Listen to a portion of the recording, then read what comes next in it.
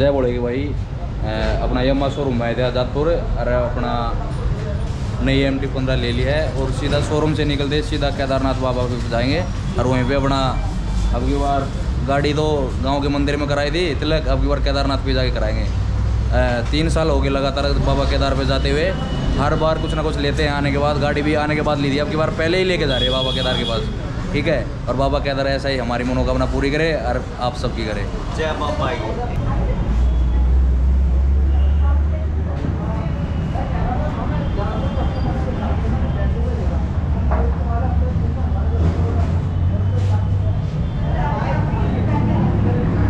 की या था लाग जाएगी।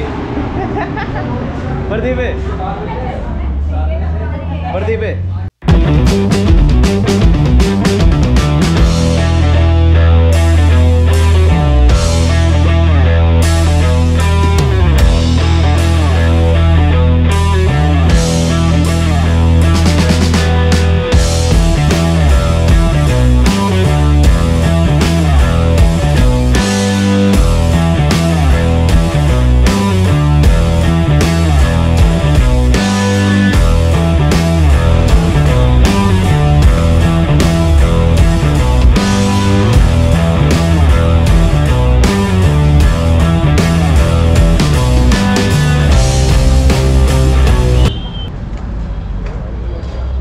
आपको कैसा लग रहा है? बहुत बढ़िया बहुत खुशी की बात है।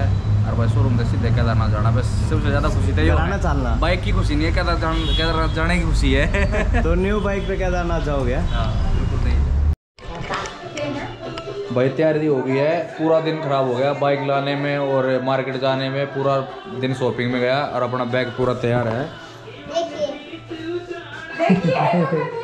और भाई फुल तैयारी में हम भी अभी मम्मी का और दादी का आशीर्वाद ले लेते हैं और चलते हैं चलो फिर।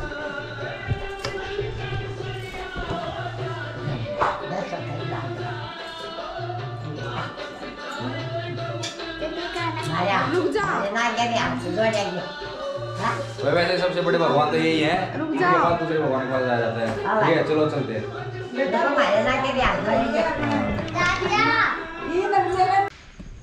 चलो भाई फुल तैयारी है। और अपना न्यू बाइक के साथ, अभी पहले चलेंगे सोनीपत। पहले चलेंगे दरियापुर अपने दो दोस्त चलेंगे साथ में। जो दूसरी बाइक है, फिर चलेंगे सोनीपत, अपने छोटे भाई को लेके। फिर मिलते हैं सीधा। रास्ते में तो दिखाने का फ़ायदा नहीं, अंधेरा मिलेगा पूरे रोड पे। और हर बार दिखाते रहते हैं। सीधे ऋषिकेश कैंपिंग करेंगे ना, वहीं पे रुकेंगे, फिर दिखाते हैं आपको। चलो, अपना दिल्ली से सीधा ऋषिकेश न्यू बाइक पे। चलो, मिलते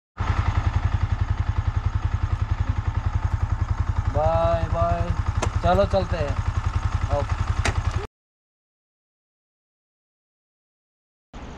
जय बोलेगे भाइयों, पच्चीस तारीख ने रात में लिगड़े थे और आपने जैसा बताया था आपने कि सीधे ऋषिकेश जाकर बात करेंगे। हमने लेकिन टाइम नहीं लगा ऋषिकेश बात करने का। हम सीधे पहुँच गए देवप्रयाग। शाम के बज चुके हैं चार। देवप्रयाग में जो भागीरथी और अलकनंदा मिल के जो गंगा बनती है, वो आपको दिखा रहे हैं। ये सबका ड्रीम होता है आज के टाइम पे भाई, जो सोशल मीडिया ने इनको ना इतना फैला दिया इन चीज़ों को। तो सबका ड्रीम है ये चीज़ देखने की। देखो एक तरफ़ से बिल्कुल नीला पानी आ रहा है एक तरफ़ से मटियाला। मटियाला। सीखो खुद सीखो। ये अपना नया दोस्त है मुंबई से मिला है।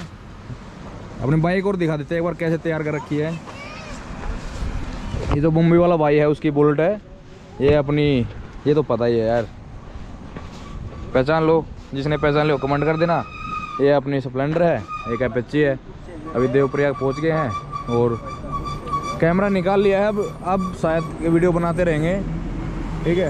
और आपको दिखा देते नज़ारा।